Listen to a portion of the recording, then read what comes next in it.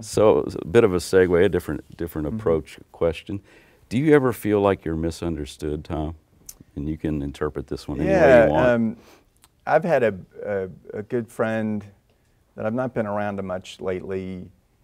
He, he called me a Trojan horse, which I thought was hilarious. He said, You've got a generic name, Tom Williams, you wear a suit and tie, you don't look any different, you're slightly overweight, you're balding.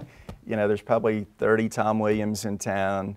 He goes, and then you're able to get inside the walls and then God knows what's coming out of your belly. And I said, well, so yeah, I mean, I think I'm misunderstood in very kind of white privileged ways, I guess. And that, you know, I, I think people sometimes think uh, uh, I'm one dimensional because of the role that I'm in. And, and um, so it's not, it's not anything that's inhibiting for me, but I am misunderstood from Well, time to time. I'll be frank, if I hadn't had the privilege to see you talk, you know, in Leadership Louisville and other venues and see this other side of you, I probably would have, you know, assessed the same opinion. Mm.